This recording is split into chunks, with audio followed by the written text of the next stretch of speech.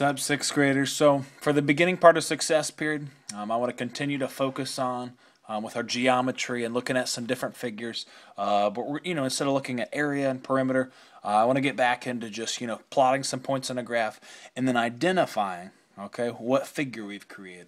So if I look at our first question, it says graph the ordered pairs, then connect the points to form a polygon. Okay, and so we're going to identify exactly what that means. So we got to connect the points and graph the ordered pairs. So if I look at question one, it says the ordered pairs. It lists four of them below. So my first one is 3, 9. Okay? So I got to identify, okay, what's my x coordinate? What's my y coordinate? I recognize that my x coordinate is the first one, which gives me a 3. And if I look at my 9, that represents my, my, uh, my y coordinate. So let's go ahead and put that on our coordinate grid. In order to do so, I always start right here at the origin. And then I identify, okay, am I going to go to the left or to the right first? Well, since I have a positive 3, that tells me I'm going to move to the right. One, two, three places. Now, I don't put a mark there yet until after I also plot my y coordinate. So my y coordinate represents a 9. It's a positive 9, so that tells me I'm going to move up along my y-axis 9 spaces. So the first point, they already have graph for us. So I can check that one off our list. Our next ordered pair is 9, 9, so I know my x-coordinate I'm going to go to the right 9 places since it's positive. And then my y coordinate's also a 9, so I'm going to go up once again along the y-axis, 9 places. Alright, so I got two of the four plotted on our grid. Our next order pair, I have 1, 2. So once again, I start at my origin, I go to the right one place, and then I go along my y-axis two places. Check that one off. And then our last one is the ordered pair 7, 2. So I move to the right seven places because it's positive, and then up two places.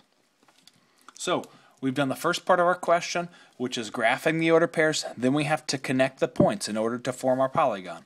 So I'm going to do this in the order in which we created them.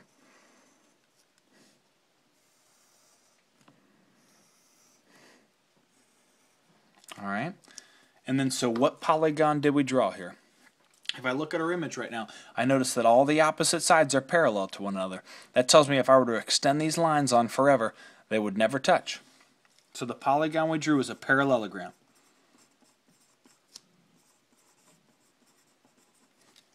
Okay. All right, let's look at one more question. So I'm looking at question two, and it gives us the ordered pair. So once again, except this time they're only giving me three. Okay, and I see we have some negatives involved. So let's look at our first one. I understand the first ones are x, our second ones are y. So I have the ordered pair negative 6, negative 2. So I start here at my origin. I move to the left six spaces, okay, along the x-axis, and then the negative 2 tells me I'm going to move down two spaces along the y-axis. So there's my first point. And I see I have the next ordered pair, negative 8, negative 7. So I move to the left, 8 spaces, and then I'm going to move down seven spaces. The reason I know I'm working this is because I'm working with two negative numbers. All right, then it looks like our last one is negative 3, negative 7. So I move to the left three spaces and then down seven spaces. And then finally got to connect all our points. All right, so then back to our question, what polygon did you draw? That's simple. We drew a triangle.